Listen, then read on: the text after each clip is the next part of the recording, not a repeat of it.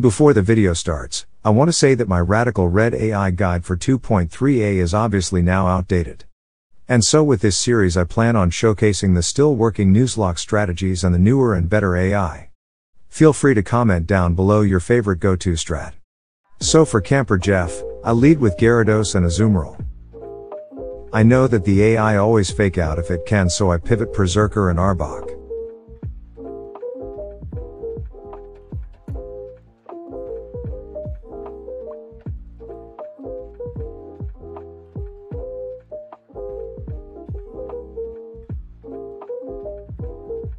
I then 2 hit KO the Mr. Mime.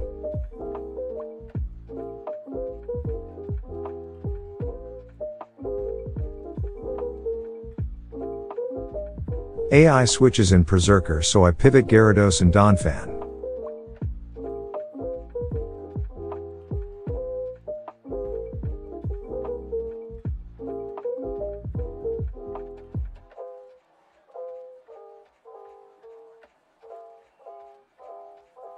Ambipom is now minus 3 and it's just very likely that the AI will switch and even if it doesn't switch, it's more free thanks to the minus def and the minus speed.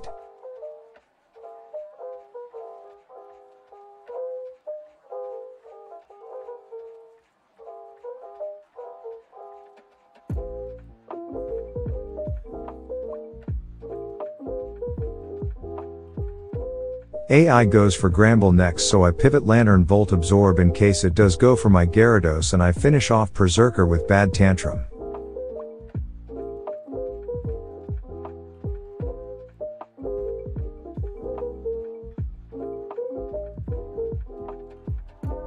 AI switches in Ambipom meaning it's going to fake out again so I simply go to Perrserker and Azumarill to fake out the monkey and to finish off the dog.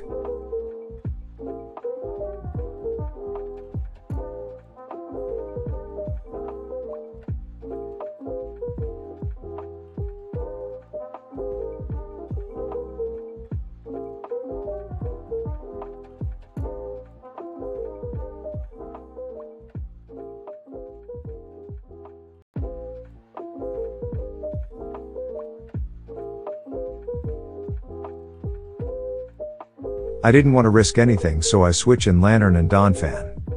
By the way, if you want to know my team sets natures and moves etc., you can find them on my docs website.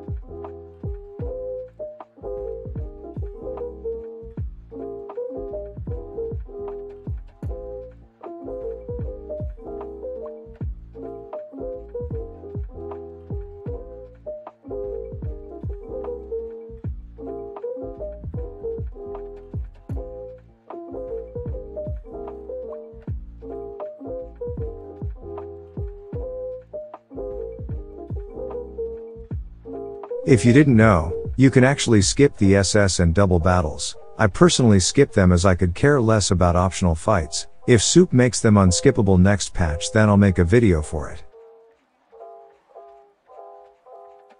I start the Brendan fight with Azumarill for the free play rough into Aqua Jet KO.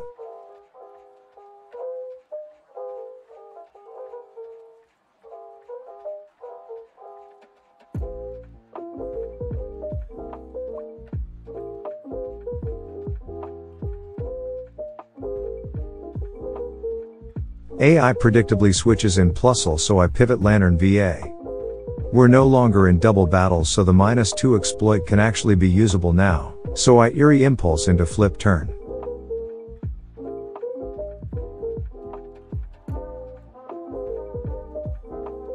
Sceptile comes out so I go for 100% Cloyster for the free OKO Ice Shard.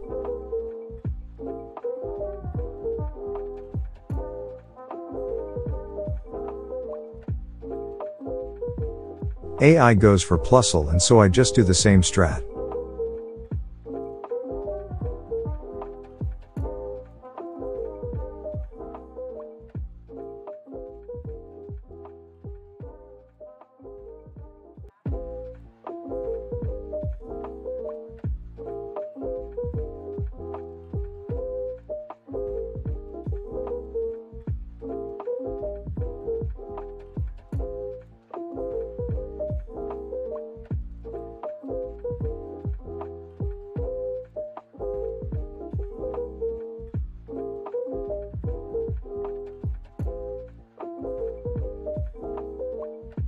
AI goes for slaking so I pivot Gyarados.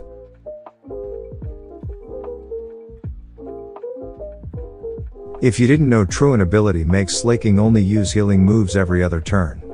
So I go to Blaziken for free here and I detect.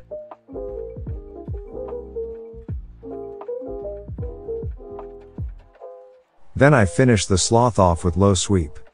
This fight is finished.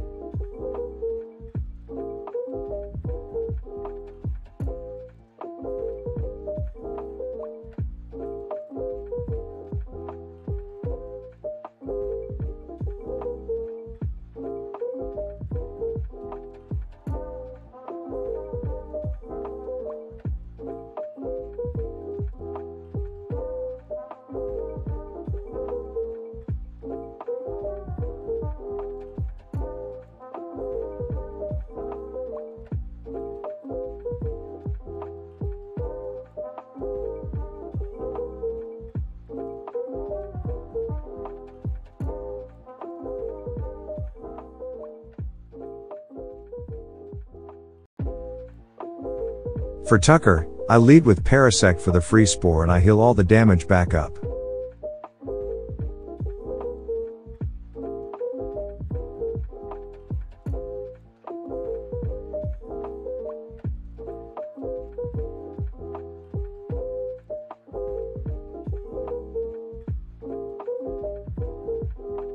I then switch into Drednaw as I want to bait Dugtrio out.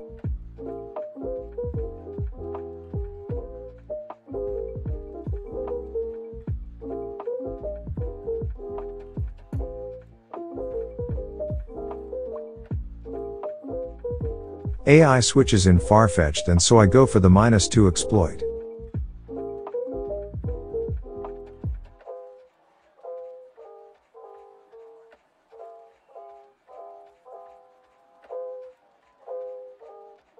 Then I go for Rock Tomb here as it's really the safest move possible.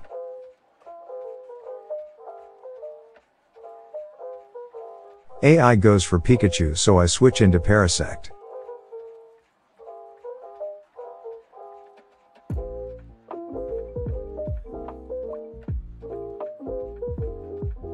I went for Spore here as Swanna slash Farfetch'd resists all our moves and can OKO easily but the AI stayed so I just heal up. This fight is quite free, thanks to Battle Armor Perrserker slash Drednaw along with Intimidate Mons.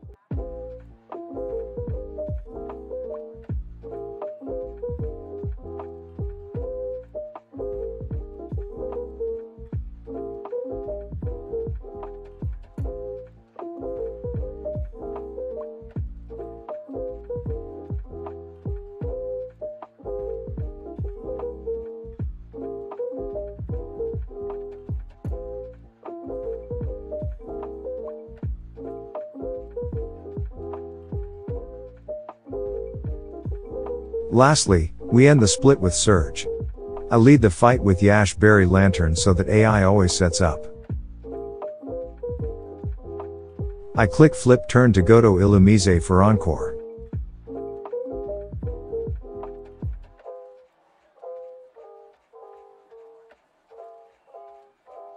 I also have a fairy type move and a bug type move which makes the AI never go for Hitmonlee or Raichu.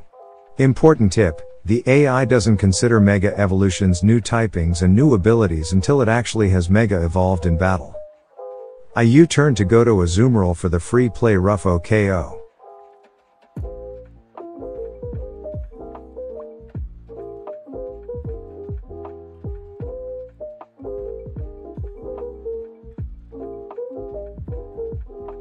Raichu comes out so I go to VA Lanturn.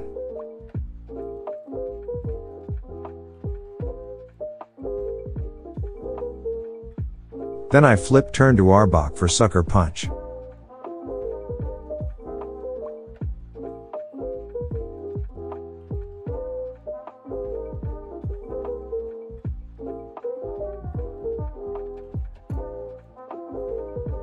I intentionally made my Arbok minus defense nature so that AI would always see explosion OKO so I simply pivot battle armor Perrserker. By the way, reckless ability now boosts explosion moves, I don't know by how much though. AI switches in Hitmonlee so I pivot Gyarados Intimidate and then I go to Azumarill for the free OKO.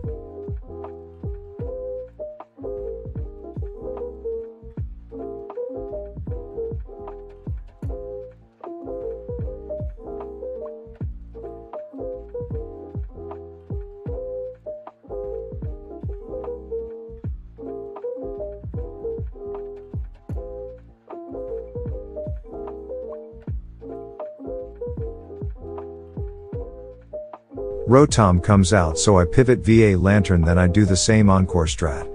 Hope I was able to help you, thanks for watching and have a good day.